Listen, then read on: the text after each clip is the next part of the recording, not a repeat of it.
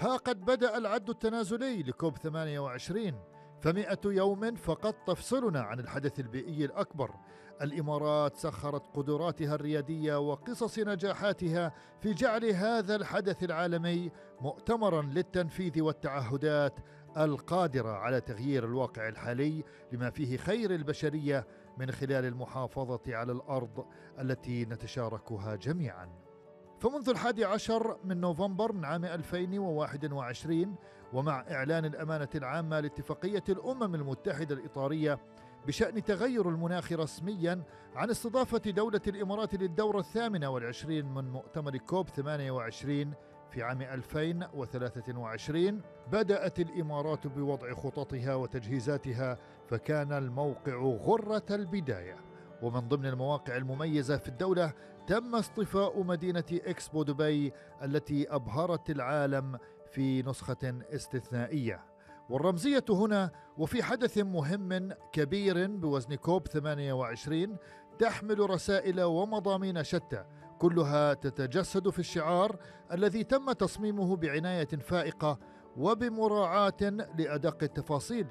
حيث يعبر الشعار عن رؤية إماراتية بعيدة المدى للعمل المناخي الفعال ولمستقبل كوكب الأرض. وقد جاء الشعار على شكل كروي باللونين الأخضر الفاتح والداكن متضمنا مجموعة من الرموز المتنوعة المتعلقة بالعمل المناخي. ومن الخطوات التي اتخذتها الدولة رفع القدرة الاستيعابية للفنادق لاستقبال الزوار مهما كانت أرقامهم وتنفيذ عدة خطط لتسهيل وصولهم إلى مقر المؤتمر باستخدام وسائل النقل المختلفة. والهدف الأسمى والنهائي في كوب 28 هو تفادي تجاوز الارتفاع في درجة حرارة الأرض بمستوى درجة ونصف درجة مئوية. حيث تسعى رئاسة المؤتمر للقيام بذلك بالوصول لنتائج تفاوضية تحقق أعلى الطموحات. واعتماد جدول أعمال فعال يساهم في تنفيذ هذه النتائج بشكل ملموس. وتستند الخطة إلى أربع ركائز رئيسية.